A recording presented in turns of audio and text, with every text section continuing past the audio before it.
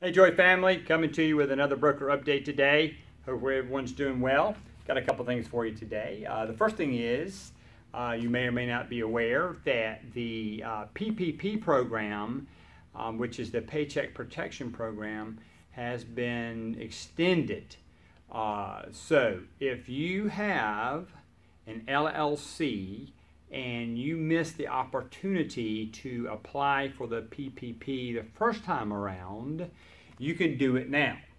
Uh, if you are not real sure what to do or how to do that, please give me a call um, and I'll be glad to walk you through it or come by and see me, whatever the case is, uh, and we'll, I'll certainly be glad to do that. So, uh, the other thing I want to talk about today, and just to give some shout outs to our June top performers, our top agents for June. Uh, for the listing side, it's, uh, it's Betty Joe and Diana Tapp.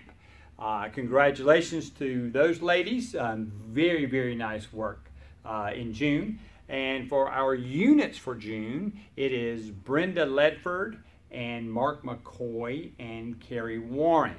Uh, so congratulations to you all as well. Uh, really super, super good work, especially in light of the, uh, of the slight market uh, turndown. So wonderfully done. Um, that's all I really have for you today, and I will get back to you in another uh, couple of days with another update. Thank you.